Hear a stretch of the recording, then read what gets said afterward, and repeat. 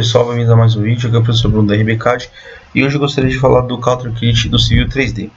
Então assim, se você instalou o Civil e você não, não instalou a personalização do o Brasil, do Counter Kit, eu vou ensinar como se faz. Né? Então na verdade o que é o Counter Kit? São é, personalizações, vamos dizer, comandos de acordo com as regras de cada país. Geralmente o Counter Kit, Counter Kit ele é voltado mais para a área de rodovia, né, de projeto geométrico, para fazer estradas. Mas aqui a gente tem algumas especificações para saneamento, que é Sabesp, é, transporte metropolitano, que seria CPTM e metrô. Então como é que você faz? Cada país vai ter o seu Counter Kit.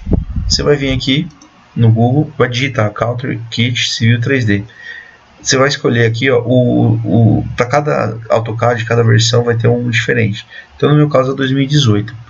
Você clica aqui, tá?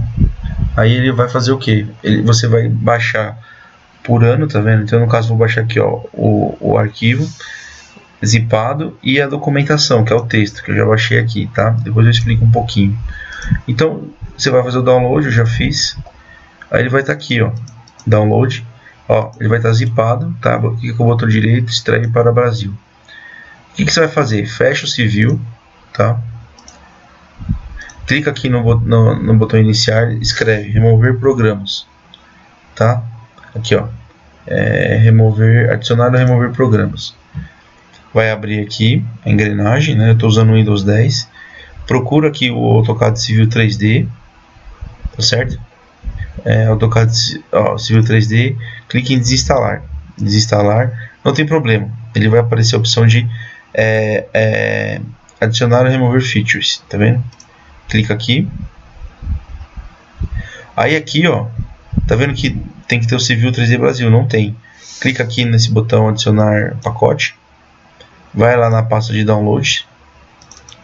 Vai aqui em Brasil, Brasil, e aí você seleciona esse arquivo aqui XML abrir ó aí vai pedir ele vai perguntar se você quer fazer um, um, um atalho no desktop. Yes. Dá um next. Ó ele vai mostrar aqui tudo que tem que instalar. Dá um update. E aí ele vai instalar o Counter Kit tá? Demora um pouquinho dependendo do seu computador tá? Vou pausar o vídeo aqui. Voltando pessoal já instalou dá um finish e quando você vem aqui na área de trabalho, ele cria um ícone. Abriu o Civil 3D, o que, que vai mostrar? Ele vai mostrar aqui alguns templates, algumas configurações. Então já tem configurado aqui limite de velocidade, já tem configurado estilos de talude, estilos de curva de nível, estilos de superfície, estilos de perfis e uma centenas aí de configurações exclusivas para o o Brasil, tá? Então demora um pouquinho para abrir. Deixa eu pausar aqui. Resumindo aqui, pessoal, ó, instalou para este vídeo de nada de, de, diferente. Só que você clicar aqui em Toolbox, ó, em Brasil, tá vendo? Ó, ele tem algumas opções, ó, alinhamento horizontal, vertical, superfície, tá vendo? Se você clicar aqui no, no botão de layer, ó, ele já tem criado os layers para você fazer seu projeto de engenharia, tá vendo? Já tem aqui os filtros também separados por, por disciplinas, já geométrico. Inter, drenagem, interferência, sinalização, é, topografia, né?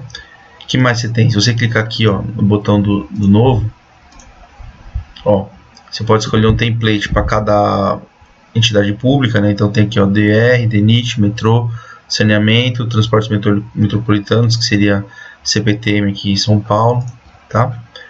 E também tem, as, tem aqui também as opções de, de estilos, né? Você vem aqui em settings, ó, gradient, gradient styles, pla, platô, profile, ó, tá vendo? Já tem algumas configurações. Tudo isso aqui está baseado aonde? Está baseado nesse documento, ó, tá vendo? Ele foi realizado aqui pelo pelo Pedro Soete, que, é que era da Autodesk, e pelo Marcos Cardoso, que é lá da, da Frasílio Ferroni. Então, eles explicam aqui ó, os layers que foram criados, é, as unidades de medidas, né? que mais tem interessante? Ó? Ele fala também das placas de sinalização, que são blocos dinâmicos. Fala aqui ó, do design criteria, que seria aqui as regras de velocidade, de acordo com a classificação da rodovia. que mais? Ó, os assemblies, que seriam as seções transversais, as notas de serviço, ó, as conexões, aqui ó, pressure pipe, né, projeto de saneamento, água, água fria, né, água potável, você tem que as, as singularidades, ó, os tubos, os T's, né, com as derivações, as válvulas, tá vendo? Tem bastante coisa aqui. Ó, a parte de topografia, enfim, aqui ele explica detalhadamente o que, o que, o que cada o que o kit tem oferece de para você trabalhar, tá? Então é isso, pessoal. Espero que vocês tenham gostado, tá? E até a próxima.